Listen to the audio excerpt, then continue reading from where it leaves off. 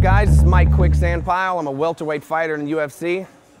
And uh, today we're gonna work on a little bit of grappling, but in order for the grappling to get to the ground, hey, we gotta wrestle, right? So let's work on some things today. Your tip of the day is gonna be the double leg, and to help me with this is gonna be Nick. It's my buddy Nick. Also trains here at Extreme Couture. All right, so what we're gonna do today, we're gonna work on the, we're gonna work on the double. When my opponent, when I make my opponent get where I need him to be, which is close to a barrier, and what I mean barrier is a cage or ropes, whatever fighting ring or cage that you're in, you're gonna use it, okay? So when my opponent throws the jab, I'm gonna make sure my hands are up, I'm gonna slip. Now I don't wanna slip with my hands all the way down here because if he has a nice uppercut coming, maybe I'm gonna get hit with that. I don't wanna get hit, okay? Yes, I'm a fighter, but I don't like to get hit, okay? So when I slip, my hands are up. In case this right hand comes, no problem, I'm ready for that. I'm gonna take a deep step in, and immediately I'm gonna grab the thighs of my opponent, okay?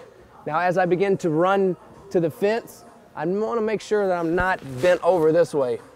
Because in wrestling they have a, is a sprawl. And if he sprawls on me like this, he, I bear all the weight of him on my back.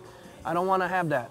So when I make that initial shot, I'm gonna slip under his jab and my body stays as, as upright as possible. Now my legs are gonna do the work here. Begin to drive Nick back. As I drive Nick back, I'm gonna wait for one second that when we start to come off of these ropes, I wanna then pick my opponent up and take him off his feet. Yes, I can connect my hands. Is it necessary? No. But remember, keep a good straight back. Drive. As he bounces off the, off the ropes, lift, sweep him underneath my chin. Legs go underneath my chin. It's very important.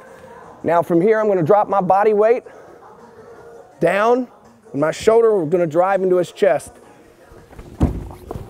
Initially making a very hard slam onto the ground. Yes, it could take my opponent out nine times out of 10, it does not, so don't depend on that. Once I've driven him to the ground, this knee goes underneath, this elbow goes tight here. I like to go underneath the head here, okay? Because probably what Nick's gonna do is try to turn into me and get up. But if I've got him locked here, it's easier. Whereas if I just kind of lay across, he's got an easier escape.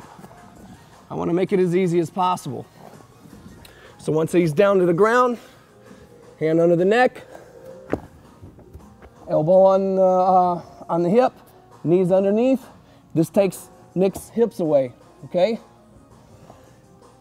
And guys, that's how you do a double leg.